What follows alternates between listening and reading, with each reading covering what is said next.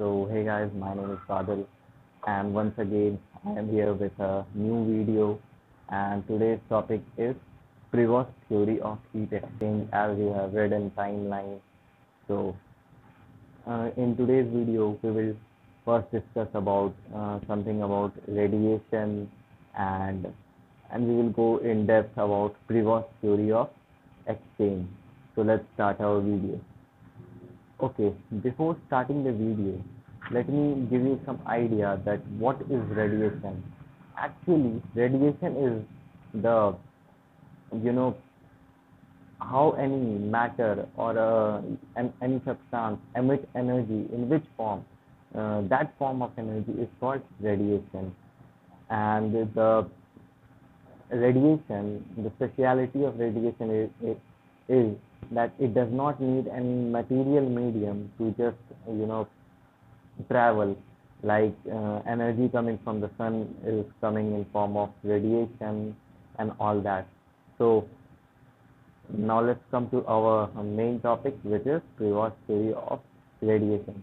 So in 1972 Pierre Prevost was the scientist who put forward this theory about uh, radiation in which uh, he told he gives the statement that according to his theory all body radiates thermal radiation at all temperatures the amount of thermal radiation radiated per unit time depends on the nature of the emitting surface and its area and its temperature. So let's go in detail with uh, in this statement with uh, two examples you know.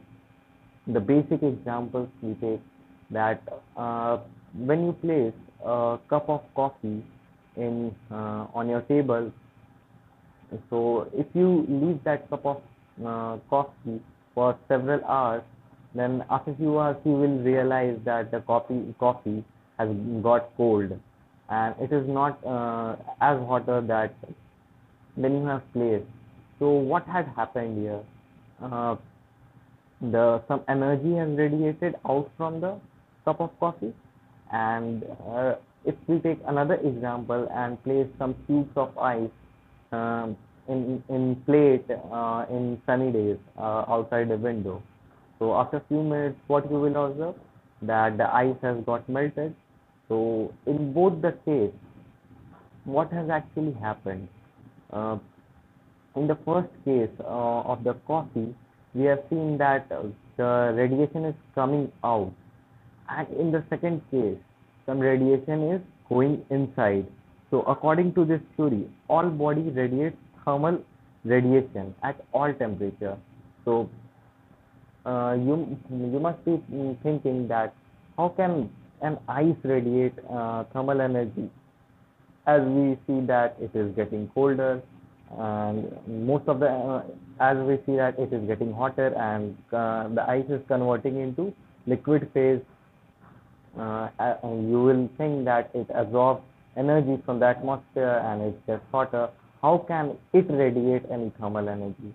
But um, according to Pierre Prevost, he says that yeah, um, yeah, it is you know emitting thermal uh, radiation, but the ratio between the energy radiated and energy absorbed is you know uh, energy absorbed is very uh, very high than energy radiated.